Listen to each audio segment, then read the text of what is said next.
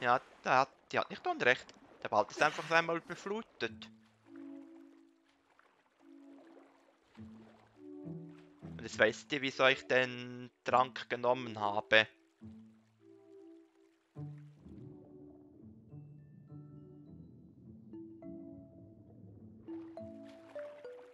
Wahrscheinlich hat der Wasserdrache etwas damit zu tun. Ach ja, und mit der Kanone ist euch sogar noch möglich...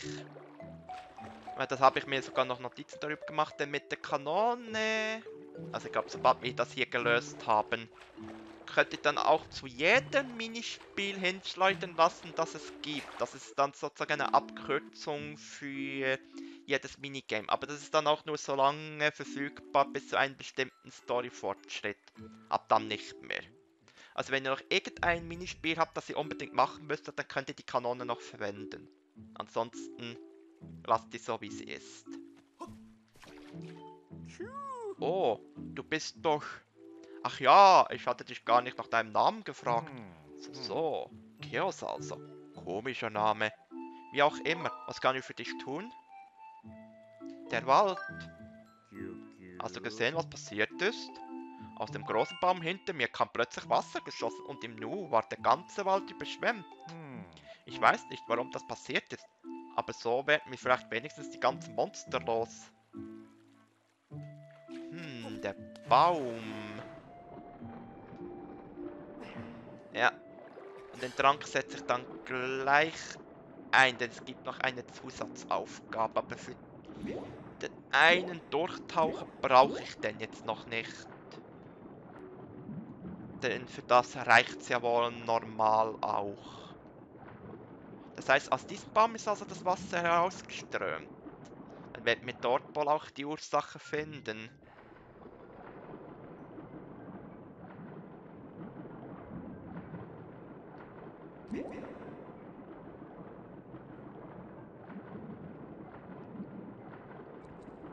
Und am besten ohne, dass wir eine dieser Bomben mitnehmen. Sonst müssen wir sie abschütteln. Der ganze Wald steht unter Wasser. Hm, das habe ich gemerkt.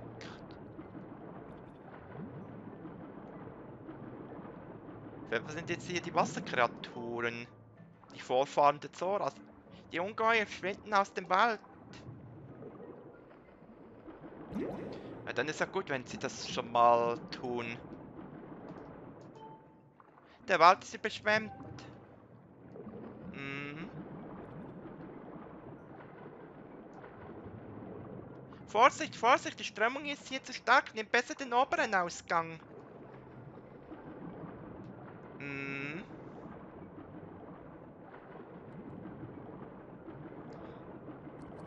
Dann kann ich mir mit Sicherheit vorstellen, wer das gemacht hat. Es kann ja nur einer gewesen sein. So, wo bist du?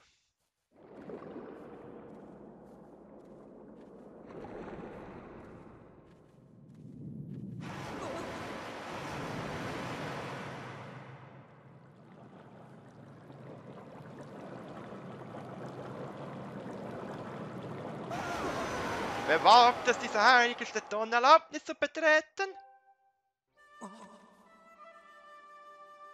Aber bist du nicht das Menschenkind, das mir zuvor geholfen hat? Chaos? Lass dich ansehen. Du bist gewachsen, seit wir uns zuletzt begegneten. Nun bist du fast ein Mann und das Schwert auf deinem Rücken. Ich sehe es. Du bist tatsächlich der Auserwählte der Göttin. Begehrst, was die Göttin mir anvertraute, eine Stimme des Heldenlieds. Bist du deswegen gekommen? Ich verstehe dein Begehr, doch so einfach sollst du es nicht haben. Dir steht eine weitere Prüfung bevor. Gerade eben habe ich den gesamten Wald überschwemmt, um ihn von den Kreaturen des Bösen zu reinigen. In diesem überfluteten Wald soll deine Prüfung nun stattfinden. Bestehst du diese Prüfung, so sollst du meine Stimme des Heldenlieds als Belohnung erhalten.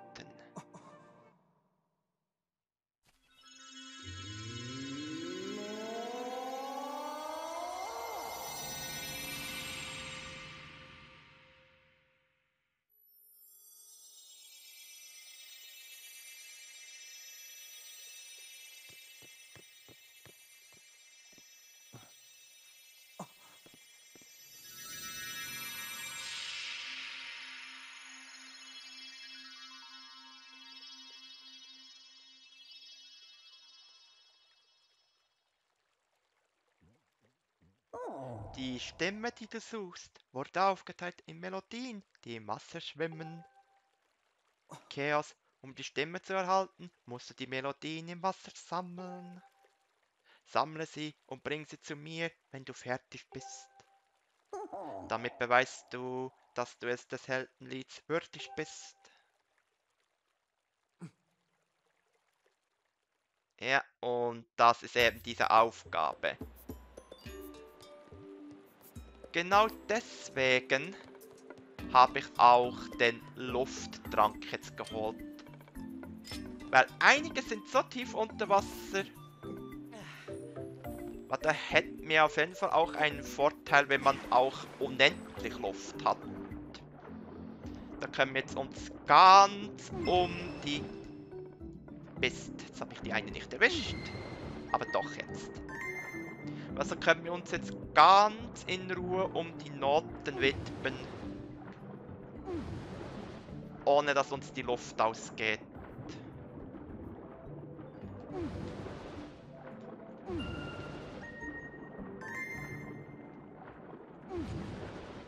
Ganz in Ruhe. Also für diese Mission ist der Lufttrank am allerbesten geeignet. Also hier könnt ihr ihn am besten verwenden und deswegen wollte ich ihn unbedingt mal einmal zeigen. Und für die Mission ist das am besten. Und das Nervige ist, wenn ihr auch nur eine dieser Töne zu lange ignoriert, dann setzen sie sich zurück. Aber nur die, die aneinander gekettet sind. Also zum Beispiel hätte ich jetzt von diesen vier Tönen eine zu lang nicht eingesammelt, dann wäre sie zurückgesetzt die hätte sie nochmal sammeln dürfen. What the hell? Was habe ich denn da jetzt gerade eingesammelt? Auf jeden Fall war das jetzt gerade ein purer Zufall, dass ich die gerade erwischt habe.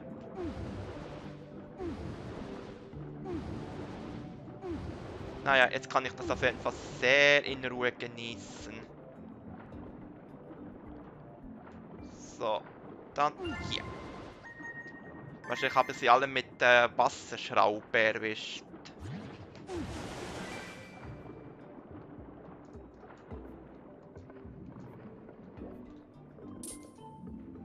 Wenn du diese Stachelbieste explodieren lässt, sei vorsichtig, damit dich die Explosion nicht auch erwischt.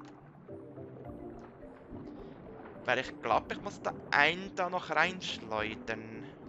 Weil da hinter dieser Wand safe noch eine Note ist. Vorausgesetzt, ich schaffe es auch mal.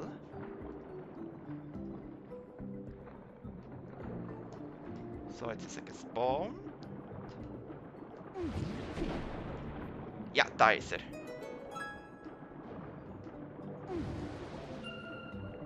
So, dann habe ich den. Ja, jetzt wird schon ein bisschen herausfordernd. Es gibt schon ein paar Gegner hier. Vorsicht, Chaos! Hier sind ein paar bösartig aussehende Fische aufgetaucht. Wenn sie dich sehen, wird es gefährlich. Sei vorsichtig. Hm. Ja, die könnten ein bisschen behindern, aber wir haben da... Okay, wo ist die zweite? Ach, ich glaube, da drüben ist sie. Ja, das ist jetzt genau passiert. Weil ich zu langsam war. Aber jetzt habe ich sie doch noch erwischt.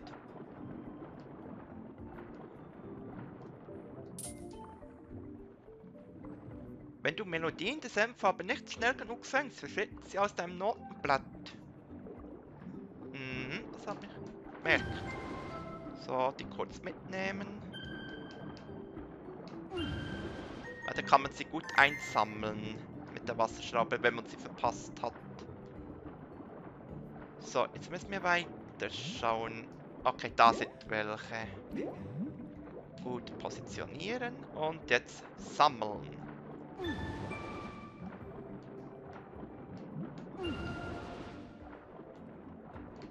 Wow, das ist die längste.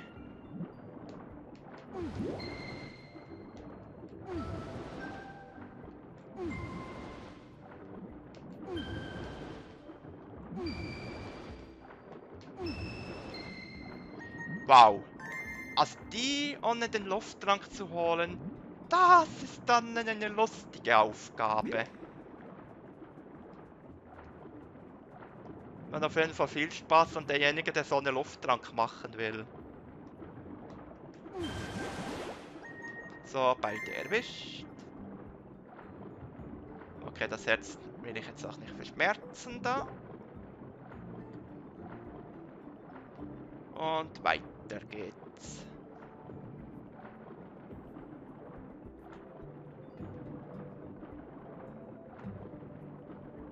Ne, das ist nur ein Fisch. Die Melodien speichern Luft in ihrem Körper. Wenn du sie anfängst, füllt sich dein Luftanzeige ein wenig. Ah ja, stimmt, das habe ich auch noch vergessen. Die, die haben ja auch noch Luft in sich. Sonst wäre es ja auch zu schwierig. Oh nein, wieder diese aggressiven Fische. Wir müssen fliehen. Zum Glück sind tiefe Stellen für sie unerreichbar. Das heißt, sehr tiefes Gewässer können die gar nicht. Aber es ist nur ein bisschen schwierig noch herauszufinden, wo sind noch welche. Ah, hier. Hey, Chaos, hörst du mich? Mir ist etwas eingefallen. Kannst du kurz zu mir kommen? Ja, ich komm mal schnell. Also er fängt gerade eben zuvor noch ein paar Noten.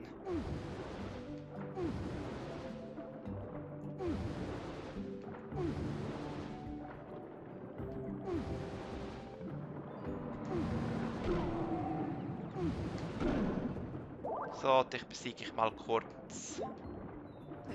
Äh, was hast du herausgefunden? Gut, dich zu sehen, Kurs. Kommst du mit den Melodien voran? Weißt du, mir ist da etwas eingefallen. Ach, wie hieß es doch noch gleich? Dieser Trick da, mit dem du meine Gefährten gefunden hast, setz den doch wieder ein. Damit wirst du sie doch einfacher finden können, oder? Ich vermute, dass er die Aurasuche meint.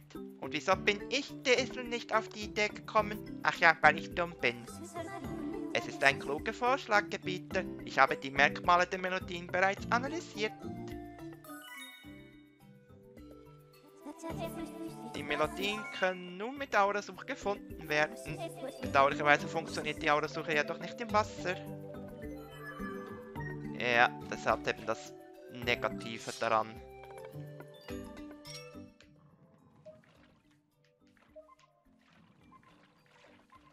Okay, dort hinten im Baum sind welche.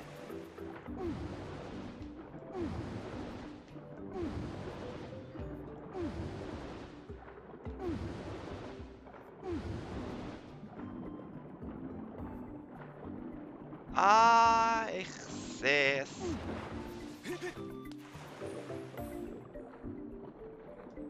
Ist jetzt halt die Frage... Gut, ich glaube, jetzt muss ich das mit getimten Sprung machen. Oder? Oder von weit oben.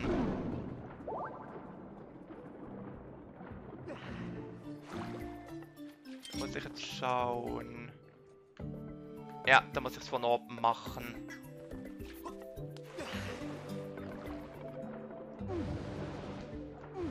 So, da muss ich jetzt die Stelle finden, der ich wieder hochkomme. Mal her. Dann zeigt die auch mal weg. Da wäre wenigstens das Problem hier gelöst.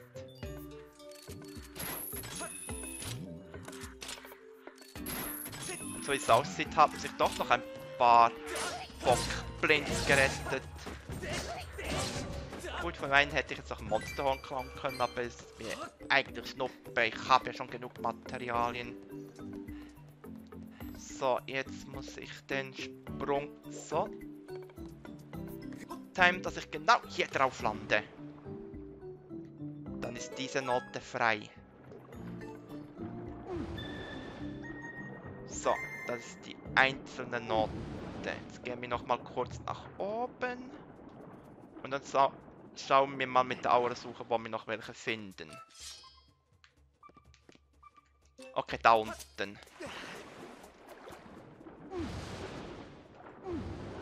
Zeit haben wir noch?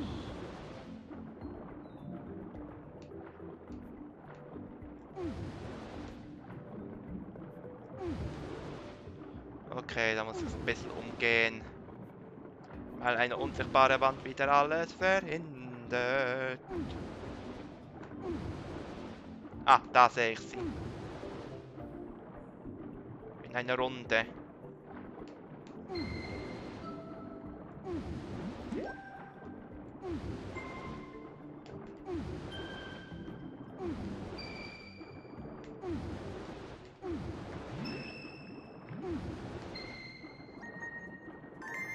Das hätten wir. So, dann fehlen, glaube ich, nur noch zwei Bündel an vier Noten und eine einzelne.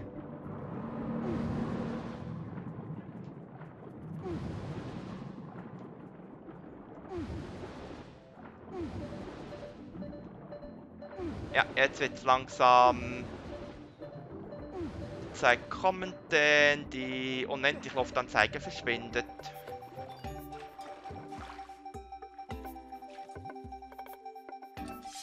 Aber wir haben es auch gut genutzt. Okay, da bei diesem Baum. Ja, das ist wahrscheinlich unter dem Baum da.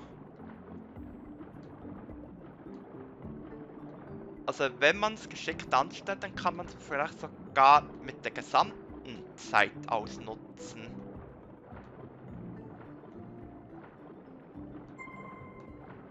So, dann die.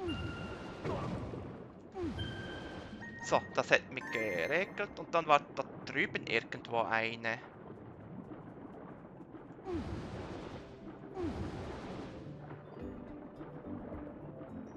Als ich mit Aura-Suche nochmal aufgepasst habe.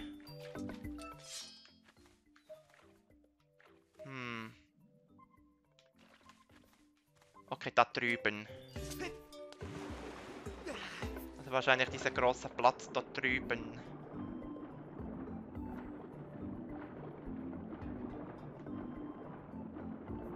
Warte, ich sehe sie. Ich sehe sie.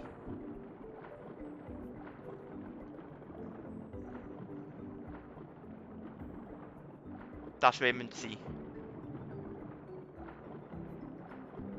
Ein Viererbündel. Wenn es jetzt gut treffe, erwische ich sie alle. Bingo. Und ich habe jetzt keine Ahnung, wie viel Zeit ich schon verwendet habe.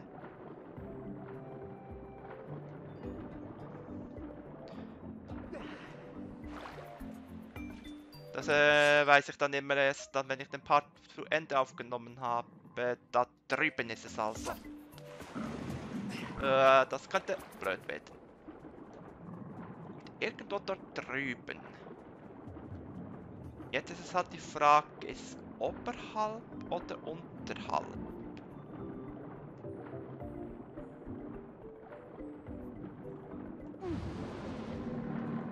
Hoppla. Da muss ich jetzt nochmal schauen, wo genau.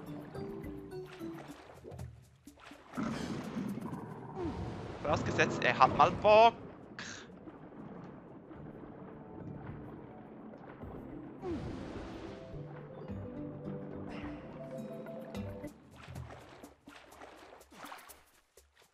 Hochzugehen. Okay, da unten also.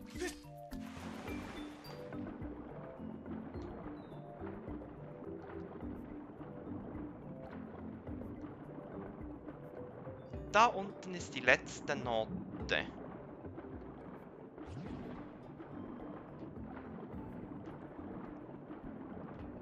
Stellt sich nur noch die grande Quizfrage, wo?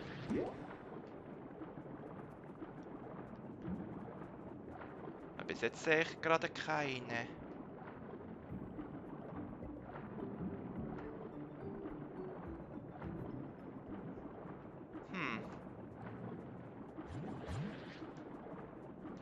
Da habe ich noch ein Viererbündel übersehen. Okay, dann war das vierte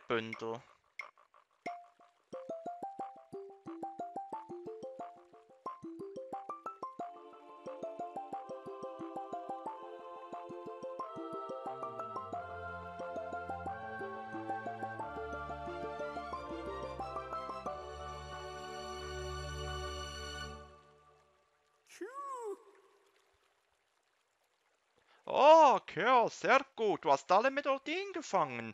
Du sollst besser schnell zum Wasserdrachen zurückkehren. Ja, das heißt, wir haben es endlich geschafft. Je nachdem, wie viel Zeit mir jetzt das alles eingebracht habe, kann ich das alles noch entweder in einen Part packen oder es wird halt ein Zweiteiler. Mir wäre sogar am liebsten, wenn ich das alles in einen Part packen könnte. Dann gibt es keine Verwirrungen. Somit können wir dann auf jeden Fall im nächsten Part. Wenn ich sogar wollte, könnte ich jetzt da noch diese Bernsteinhalbmonte einsammeln, aber ich würde sagen, wir haben, ja mit 51 Stück haben wir so viel eingesammelt, da brauchen wir doch das nicht mehr.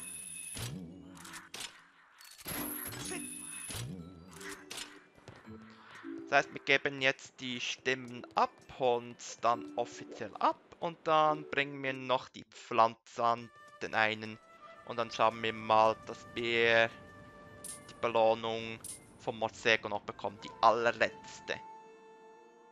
Du hast dich deiner Aufgabe wahrlich wörtlich erwiesen, Chaos. Ich werde daher mein Versprechen einlösen und dir die Stimme deren Hüterin ich bin beibringen. Du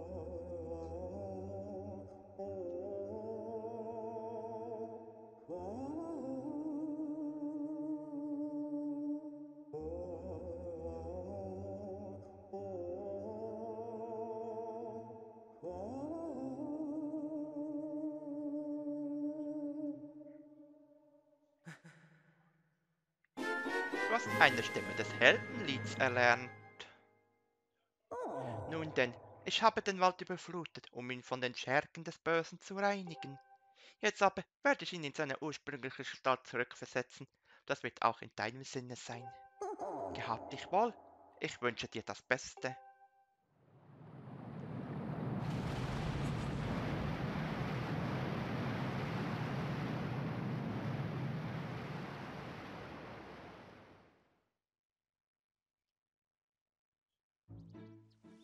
Ja, jetzt sieht es schon mal wieder viel besser aus.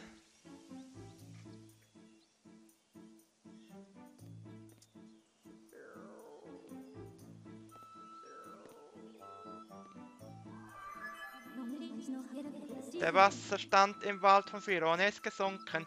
Jetzt befindet sich der Wald wieder in seinem ursprünglichen Zustand. Sehr gut, Gepeter. Du hast bereits zwei Stimmen des Eldnitz erlernt. Versuche nun als letztes den Vulkan Eldin. Ja, und damit wird es dann im nächsten Part weitergehen mit Eldin. Aber jetzt die neue Pflanzenart. Wo muss ich hin? Aha, da rüber. Also.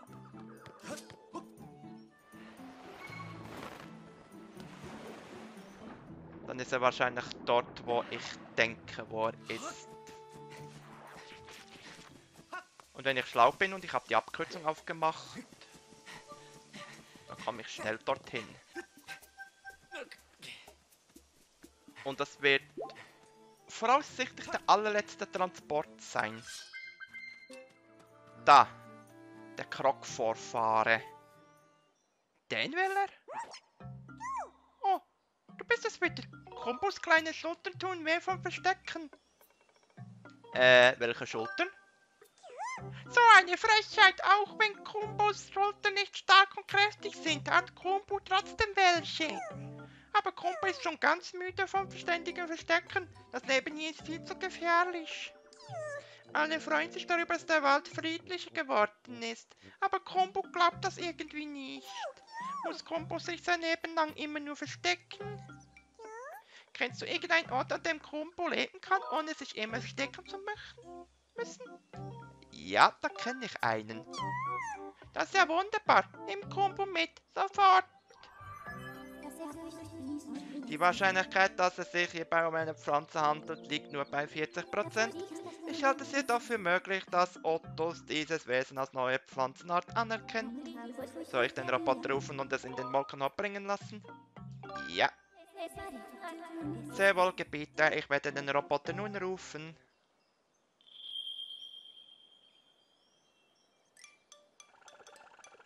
Wenn das wirklich der letzte Transport ist. Der nächste Flug geht dann ab zu der Müllhalde. Und da geht sie dann auch hin. Verehrter Feind, ihr habt mich gerufen. Diesen Knirch hier soll ich also wegbringen. Du bist mir im Weg, grüne Mist. Los, mach die Fliege ab. Tali, tali. Verstanden. Ich warte dann oben auf euch. Bis später.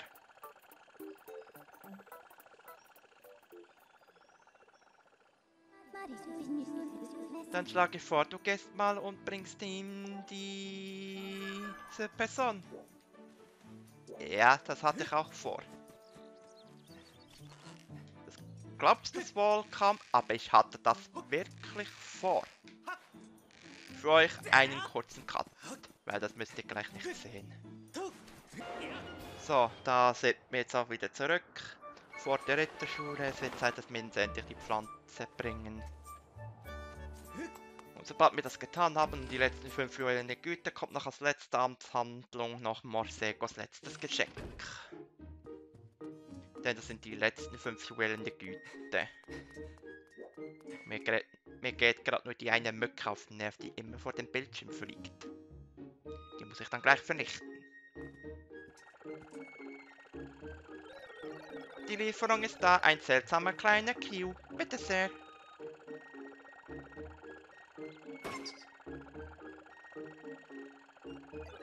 Ruft mich wieder, wenn ihr meine Hilfe benötigt, verehrter Feind.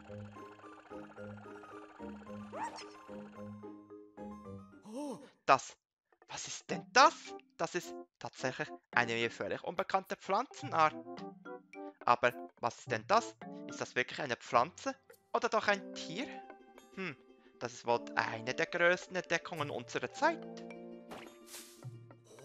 Oh, das ist großartig. Es gibt also tatsächlich doch viele Pflanzen auf dieser Welt, die ich noch nie gesehen habe. Oh, ich spüre für mich, wie der Fortschrittdrang in mir wieder wächst. Ich danke dir von ganzem Herzen, Chaos. Ich werde gut auf diese Pflanze achten. Sag mir Bescheid, falls du erneut eine seltene Pflanze finden solltest. Somit haben wir die letzten fünf Juwelen der Güte. Finally! 80 Stück. So, es wird Zeit, dass wir jetzt noch die letzte Person glücklich machen und dann mache ich endlich für heute Schluss und dann fällt eigentlich wirklich nicht viel. Also wenn es gut geht für mich, könnte ich das wahrscheinlich wirklich in einer allerletzten Session durchbringen. Wenn ich Pech habe, sind es dann doch wirklich noch zwei. Und als Nachfolgeprojekt habe ich da auch schon irgendwas überlegt. Und zwar, für euch ist es ja eigentlich auch irrelevant, weil ich weiß ja nicht mal nicht, das Video zu sehen kriegt. Aber es kommt jetzt dann demnächst. Wir haben jetzt gerade aktuell den, äh, ich muss jetzt lügen, den 12. September. Warte, ich schaue jetzt gerade mal nach. Nein, den 13. September. Weil es kommt dann Anfangs Oktober noch ein neues Metroid-Game raus, nämlich Metroid Dread. Denn ich denke, dass ich das dann als Nachfolgeprojekt dann hinnehmen werde. Aber wann es dann auf dem Kanal erscheinen wird, das ist dann noch Zukunftsthema. Denn ich werde das auch so handhaben wie mit Skyward Sword HD, dass ich es einfach erstmal A komplett aufnehme und dann mal hochlade und veröffentliche, sobald die Zeit auch für mich reif genug ist. Du hast die gesamte Güte der Leute hier gesammelt und mir dargebracht. Ich danke dir von ganzem Herzen. Ich bin dir auf ewig verpflichtet. Dies ist mein letztes Geschenk an dich. Ich bitte dich, weise es nicht zurück. Du hast die Luxusgeldbörse erhalten. Diese enorme Geldbörse lässt selbst den reichsten Händler erblassen. In ihr kannst du bis zu 9000 Rubine aufbewahren. Es ist nichts Besonderes, aber ich hoffe, es wird dir auf deinem weiteren Weg nützlich sein. Oh, diese Menge der Güte sollte ausreichen, um ein Mensch zu werden. Ich bin so aufgeregt, ob es wohl wirklich funktioniert. Was? Oh. Ah!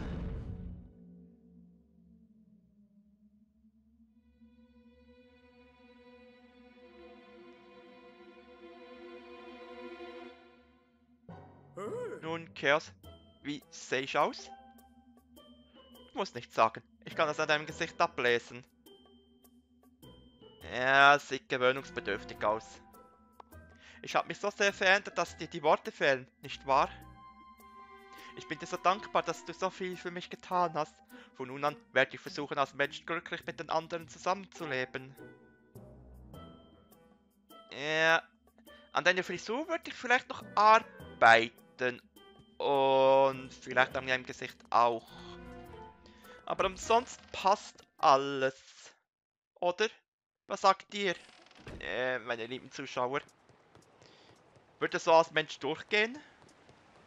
Wenn er seine Frisur und sein Gesicht noch ein bisschen bearbeitet? Das könnt ihr unten in den Kommentaren schreiben, ob er so als Mensch durchgehen würde oder nicht. Aber ansonsten würde ich sagen, dann das war's dann für heute. Im nächsten Part geht es dann an den letzten Teil des Heldenliedes. Beziehungsweise den dritten. Der vierte ist eigentlich der allerletzte, aber das ist dann von Narish und den will er uns dann erst beibringen, wenn man die anderen drei Teile hat. Das heißt, dann geht es dann ab nach Eldin, aber das werde ich dann erst in einer nächsten Aufnahmesession machen, denn ich muss jetzt auch für heute Schluss machen. Das ist auch ein bisschen spät geworden. Aber so wie es aussieht, ist dann auch die nächste Aufnahmesession, die ich dann vor mir habe, wahrscheinlich auch meine letzte. Denn wir sind jetzt ziemlich weit gekommen. Also ich bin sehr stark davon überzeugt, dass es geht. Allerhöchstens zwei. Schlimmstenfalls. Aber ich bin jetzt mal sehr stark zuversichtlich, dass es eine reichen würde. Dann würde es mich auch wieder freuen, wenn ihr dann beim nächsten Mal wieder einschaltet bei Let's Play The Legend of Zelda Skyward Sword HD. Also bis dann und ciao!